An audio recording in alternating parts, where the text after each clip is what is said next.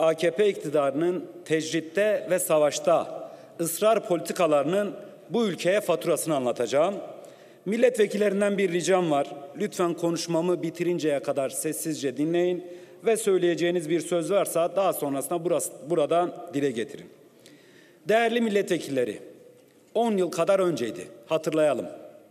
Bu ülkede sürekli kazanmasa da bir bahar havası esmeye başlamıştı. Bu bahar havası nasıl esmeye başlamıştı? PKK ve devlet arasında çatışmazlık hali ilan edilmişti ve o süreçte bu ülkede hiçbir eve ateş düşmüyordu. Ortada her şeye rağmen atılmış güzel adımlar vardı. Bugün eğer ülkenin dört yanında sokağa çıkıp halkımız arasında gezecek olursak o dönemden şikayetçi tek bir vicdanlı yürek bulamazsınız. Çünkü vicdanlı her yürek huzurdan yanadır, barıştan yanadır, kardeşlikten yanadır. Çünkü vicdanın rantı yoktur. Çünkü vicdanın kendisi zenginliktir. Ben bu soruyu bugün meclisteki vicdanlara da soracağım. Değerli milletvekilleri, ne yazık ki güzel havayla başlayan o süreç çok kısa sürdü. Tüm atılan adımlar hiç atılmamış gibi derin dondurucuya kaldırıldı. Dolmabahçe'deki mutabakat masasının ayağı kırıldı, masa dağıtıldı. Ve iktidarın hesaplarına uymayan o barış günlerinin yerini yine silahların konuştuğu günler aldı. Düğmelere basılmıştı. Ülkede yine ağıtlar yükseldi. Barış sürecinde anaların gözlerine yaşaran umutlar yerini maalesef kuru otlara bıraktı. Barış sürecinde AKP'li siyasetçiler Sayın Abdullah Öcalan'ın duruş ve fikirlerinin önemli olduğunu söylüyorlardı. Sayın Abdullah Öcalan'a metiye, metiyeler dizen bakanlar ve AKP'li siyasetçiler birdenbire U dönüşü yapmaya başladı. Söylemlerini barıştan yana değil, çatışmadan, savaştan yana değiştirdiler. Hatta Bülent Arınç o dönem Sayın Abdullah Öcalan'a ev hapsi konuşulabilir denmişti. Sayın Başkan, o dönemde siz başbakan yardımcısıydınız. Yozgat'ta yaptığınız bir açıklama var. Diyorsunuz ki, hükümet barışı sağlamak için tarihi kararlar aldı. Güvenlikçi politikalarla netice alan ülke yoktur demişsiniz. Ne iyi demişsiniz. Çok iyi yapmışsınız bence. Size daha sonra bir soru soruluyor. Deniliyor ki yasal düzenleme konusunda ısrar edilmesi süreci sekteye uğratır mı? Siz cevap veriyorsunuz. Ben sürecin sekteye uğrayacağı kanaatinde değilim. Çünkü Türk toplumu çözüm sürecine desteğini ortaya koymuştur. O yüzden süreç işleyecektir. Ne iyi demişsiniz, çok doğru demişsiniz. Bunları şunun için söylemiyorum. O tarihte bunları söylediniz, bunlardan çark ettiniz demiyorum. O tarihte çözüm süreciyle ilgili, çözüm sürecinin başarıya ulaşması ile ilgili yapılan bütün açıklamalar kıymetlidir. Bütün açıklamalar yerindedir. Asla şu şekilde anlaşılmasın. O gün bunu söylediniz, bugün çark ettiniz demek istemiyorum. Oysa o dönemde her şey daha iyi olabilirdi ama iktidar siyasi rant uğruna onca güzelliği ateşe verdi. Çünkü o dönem Sayın Abdullah Öcalan'la görüşüyorlardı. Sayın Abdullah Öcalan'la yapılan görüşmeler neticesinde bu ülkede kalıcı, onurlu bir barışın sağlanacağını iyi biliyorlardı. Çünkü Abdullah Öcalan'la sık sık görüşen, o dönem düşüncelerini, fikirlerini en iyi bilen kendileriydi. Sayın Abdullah Öcalan'la görüşmeleri kesen iktidar tüm bu çözümlerin ana kaynağını kapattı. Halbuki talepler çok basitti. Talepler Kürtlerin dilinin, kültürünün, kimliğinin anayasal güvence altına alınmasıydı. Bu insani talepleri reddeden iktidar ülkeyi karanlık bir havaya adeta hazır hale getiren ağır tecritin ilk adımlarını attı.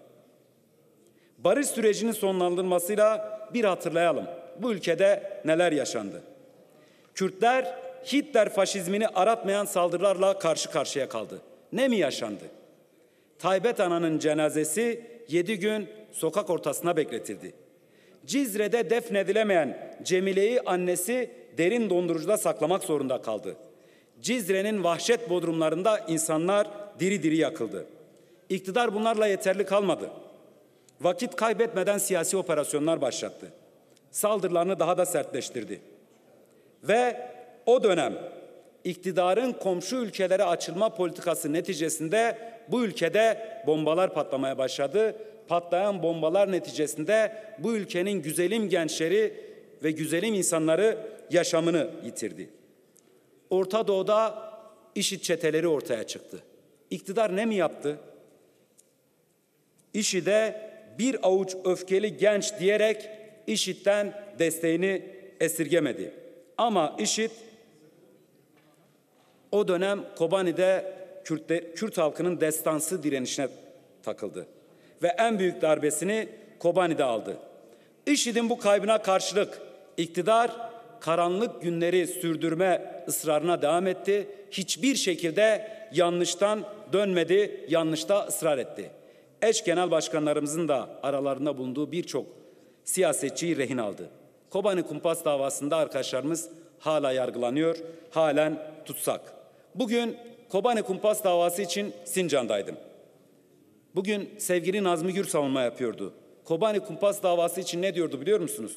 Diyordu ki bu dava çözüm sürecinin bir daha konuşulmaması için açılan bir davadır. Tam da yerinde bir tespit. Gelinen süreçte 24 yıldır İmralı cezaevinde tutsak bulunan Sayın Abdullah Öcalan'ın üzerindeki tecrit daha da ağırlaştı.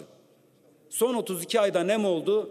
Ailesi ve avukatlarıyla hiçbir şekilde görüşülmedi.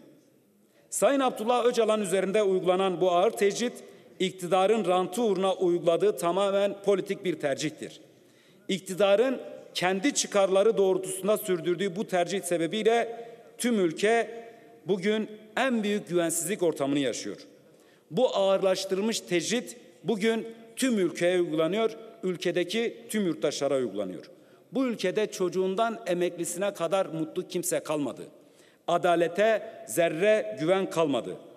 Tam da böyle bir ortamda, böyle bir kara kışın yaşandığı bir süreçte cezaevindeki siyasi tutsaklar bir karar aldı. Abdullah Öcalan'a özgürlük, Kürt soruna çözüm kampanyası başlattılar ve 27 Kasım'da bir açık grevi başlattılar. Onlar yaşadıkları onca kötü koşullara rağmen mutlak barışa çare olmak için hepimize bir mesaj verdiler.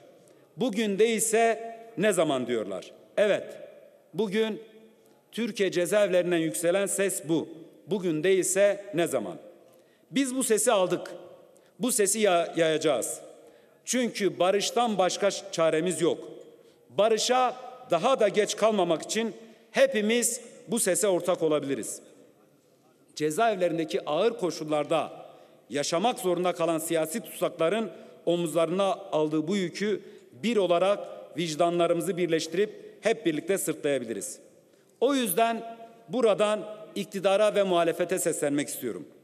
Burada yapılan bütün açıklamalarda iktidar ve muhalefet sözcüleri birbirlerini çözüm süreci ve Kürtler üzerinden vurmaya çalışıyor. Gelin bu dili ve anlayışı terk edin. Başarıya ulaşmasa da daha önce denendi. Yeniden deneyebiliriz. Bir kez daha deneyebiliriz. İş o ki bir gün bile vakit kaybetmeden geçmiş tecrübelerimizden alacağımız derslerle muhalefeti ve iktidarıyla amasız fakatsız bu ülkenin 85 milyon yurttaşının geleceği için kalıcı, onurlu bir barış için adım atalım. Tüm bunlar için atılacak ilk adım ortada. İlk olarak Sayın Abdullah Öcalan'ın üzerindeki ağır tecritin kaldırılması gerek. Ailesi ve avukatlarıyla görüştürmesi gerek. Barış için geçmişte nasıl yapıldıysa bugün de fikirlerine kulak verilmesi gerek. Barış kapısının İmralı'dan açıldığı herkesin bildiği bir hakikat. Bu hakikat kapısını cesur adımlarla açmak gerek. Ben tekrardan tüm ülkeye seslenmek istiyorum. Cezaevlerinden barış için başlatılan bu mücadele sesini her yere duyuralım. Bu hepimiz için tarihi bir sorumluluktur. Bu sorumluluk tüm vicdanların omzundadır. Bugün ağırlaştırılmış tecriti kaldırmama ve tekrardan bir barış süreci başlatmamak için hiçbir sebep yok. Bu kadar kan ve gö gözyaşı yetmedi mi? Bugün değilse ne zaman? Gelin barış için bir olalım. Çünkü hepimizin 85 milyon yurttaşın bu ülkede kalıcı ve onurlu bir barışa ihtiyacı var.